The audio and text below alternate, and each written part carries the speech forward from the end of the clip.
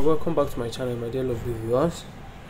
Uh, this video is for those who have been having issue in respect of their sweat coin not adding not increasing and some the, their steps actually count but it doesn't add to the, it doesn't convert to sweat coin.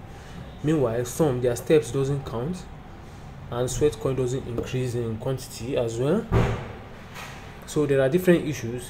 Some is as a result of their phone settings while some is as a result of uh, the kind of phone they use. Um, the thing is i'll be showing you some steps. There are some steps i made up. I have them in my notes here which should help you guys in all this. So these are the steps i made. So the first thing you need to do make sure your as you can see the first thing here is ensure I, I will first of all take you through these steps. If it doesn't work for you then i will tell you what else to try.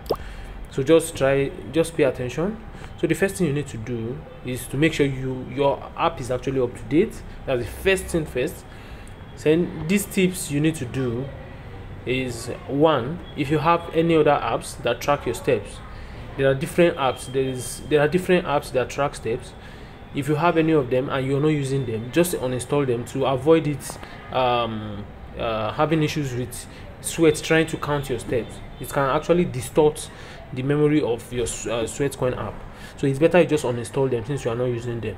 So just uninstall them. After you uninstall them the second one it's actually not every phone that has this the pedometer on phone. But if you have it especially for samsung users try to check it. I don't use samsung but if you use that try to check it. Go to home screen open preferences settings and privacy screen lock and password show steps counter then disable it. So when you're done the next step is actually to ensure yes this one is very very very very important. Because i myself when i started using sweatcoin i had issues with this. The app would just trip off on itself. It will close by itself. So i had to go to uh, battery optimization and power saving mode. Then you switch it off. You can just go to your settings. This one is very very important. Battery optimization just look for battery optimization and power saving mode. So you can see battery saver. You can see all the battery saver and even ultra saver is off. I don't put them on. Because if you put them on it will want to save your battery by closing your sweat app which is not okay. So that's why that's why you need to do this. So after turning off the battery saver the next thing you need to do which is the fourth option ensure you haven't changed the time. This one is very very key as well. Don't be the kind of person that change time often on their phone because once you change time it works with time. And once you change time it just distort all the settings you have on the app. So which will actually make it not to really work as it's supposed to be. Then fifth one is to uninstall and reinstall app. After you've done all these things make sure you uninstall the app then reinstall it again to so that it will take in the new um, the new settings you just made on your phone. Possibly after you've uninst uh, uninstall and reinstall then you now need to reboot your device so that everything will now start afresh. And also always don't just let your app close every time. After every at least at most rather it shouldn't be it shouldn't take you more than 12 hours before you just try to open the app. Just open it you can just open and close just to make it stay active so that's how to go about it.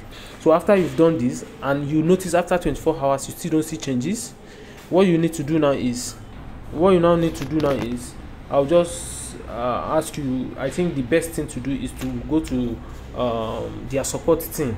The easiest uh, social media handle to contact sweatcoin is actually um, discord so now to contact them on discord i'll drop in the video description section i'll drop their discord link. That's for those that doesn't work. Even if it works you can still be active with them so that you can know what and what is the plan they have for the project. Though i've made some inquiry there though there has been no response but for you that have this issue this is the section session i expect you to go go to sweat support or wallet support. So you can see a lot of people making their complaints here.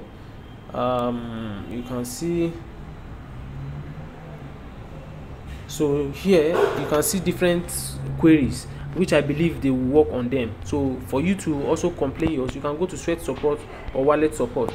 Then the most important one especially if you have some you can see if you have some kind of phone. So if you su suspecting that it could be the kind of phone you use i would advise you to use android issues report or to even make everything easy for you. Just drop your queries in these three sweat support. This wallet support sweat support and android issue support.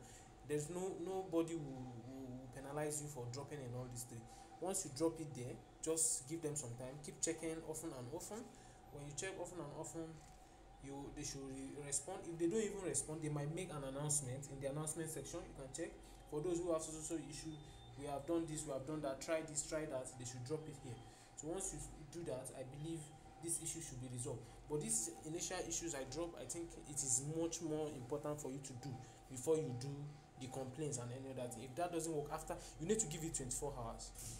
And for those that don't even know how to send um, their sweat coin to their wallet.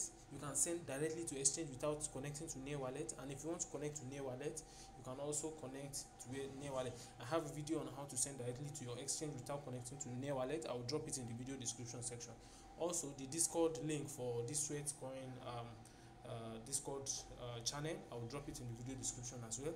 So don't forget to turn on notification because once i come up with and once i notice any solution for some other things i'll drop the, a video immediately. So try to subscribe to the channel turn on notification so that you can always receive alert for uh, videos as i drop them. So thank you very much. See you in my next video guys. Bye